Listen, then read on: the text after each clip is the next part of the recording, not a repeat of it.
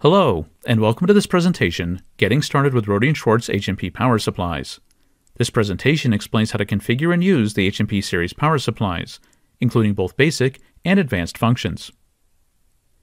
HMP series power supplies are available in 2, 3, or 4-channel models. Both the 2-channel HMP 2020 and the 3-channel HMP 2030 have a total output power of 188 watts and provide up to 32 volts and 5 or 10 amps per channel. The HMP 4000 series are either 3 or 4 channel supplies, with 32 volts and 10 amps per channel, and a total of 384 watts of output power. We'll be using an HMP 4040 in this presentation, but the functions and methods of operation are the same or similar for all models. In addition to overvoltage and overcurrent protection, additional HMP features include arbitrary waveforms, remote sensing, and remote control. In the remainder of this presentation, we'll explain and provide step-by-step instructions for all of the HMP functions. On the front of the HMP, connections are made using pluggable banana-style connectors. Connections can also be made on the rear of the instrument at the provided terminal block, with the plus and minus terminals being used for output, and the S terminals for so-called sense connections, something we'll cover later in this presentation. Note that for each channel, only one set of connections should be used at a time. To enter the output voltage and current limit for each channel, first press the corresponding channel hard key, and then either the voltage or current hard keys. Values can be entered using the rotary knob and cursor keys, or by using the numeric keypad. The C key can be used to backspace. Either press the knob or use the Enter key to confirm values. To activate output on all active or illuminated channels, press the Output key. Channels can be individually activated or deactivated by using their channel keys. The HMP display shows the output voltage, output current, and output power updated in real time.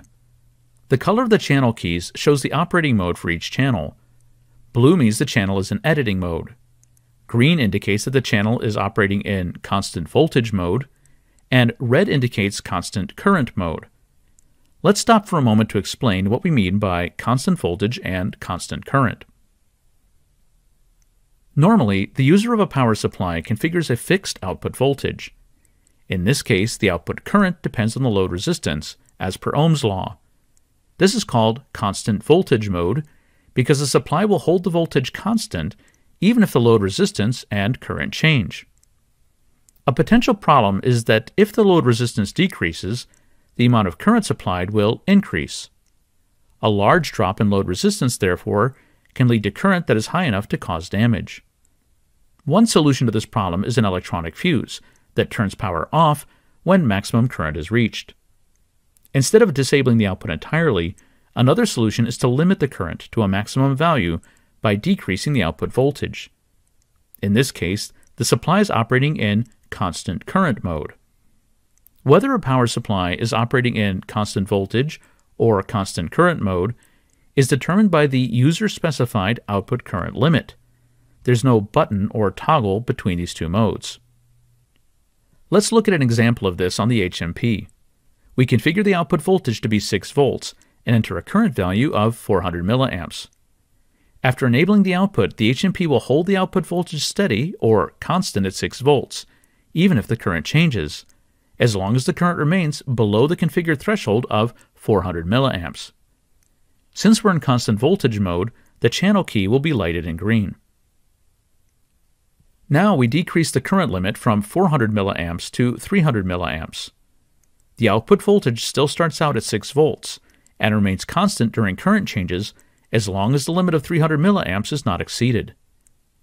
If, however, the load resistance decreases to the point where more than 300 milliamps would be drawn, the HMP automatically switches to constant current mode and lowers the output voltage until the output current falls below the configured limit.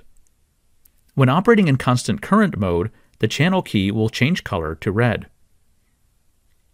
Next, let's talk a little bit more about the HMP outputs. The HMP outputs are floating and galvanically isolated.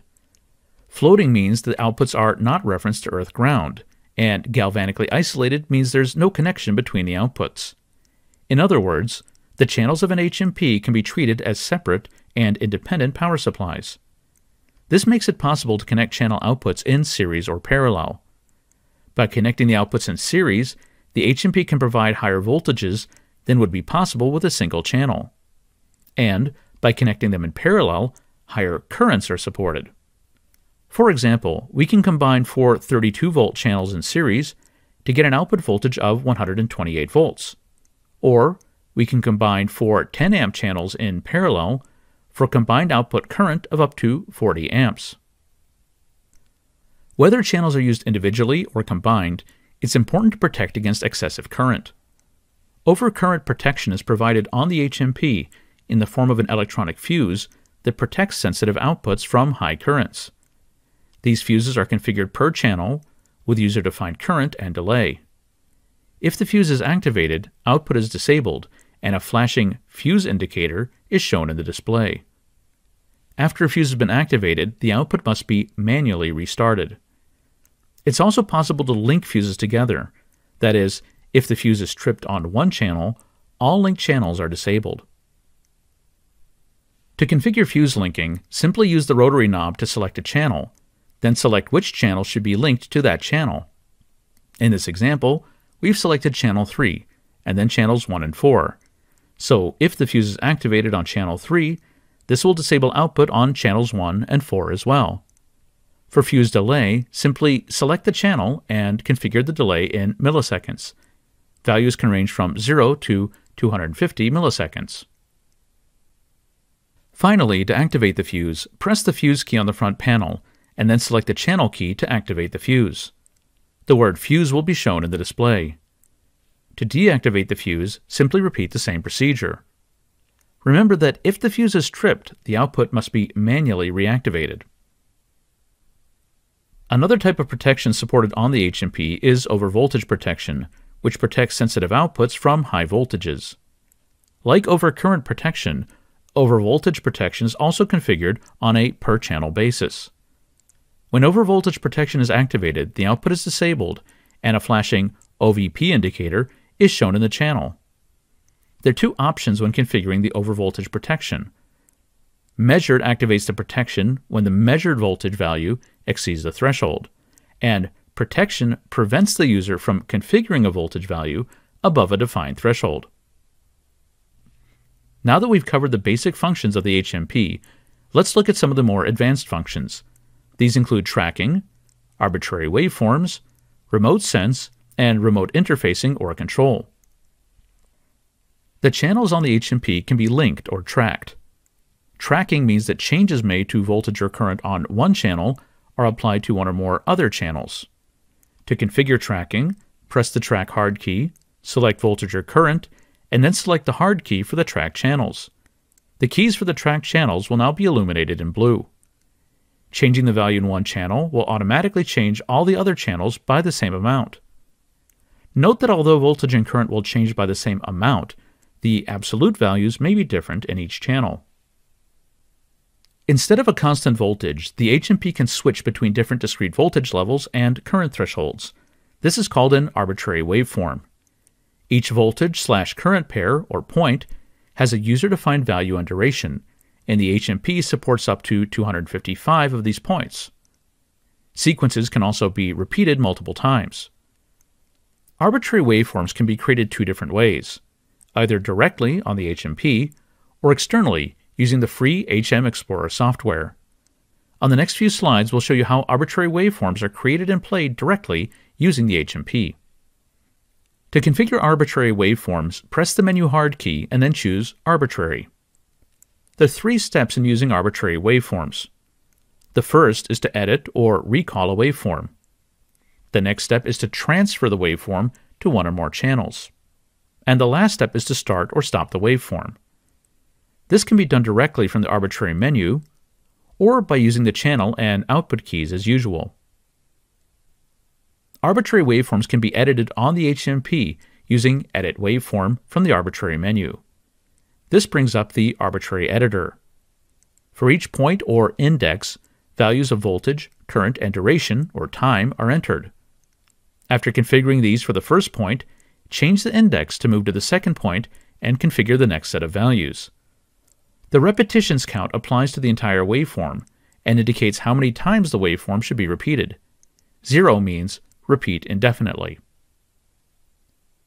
A created, imported, or recalled waveform must then be transferred to the output channel, and this is done using Transfer Waveform. Simply select the channel to which the waveform should be transferred. A small icon will appear in the channel display when an arbitrary waveform is loaded. The last step is starting or stopping the waveform. As mentioned earlier, this can be done using Start or Stop Waveform from the arbitrary menu, or by using the channel and output hard keys. The next topic is remote sense. The cables connected to a power supply's outputs have resistance, and this will cause a voltage drop between the power supply and the load. In many cases, this very small drop can be ignored, but it can become significant with high currents or small load resistances.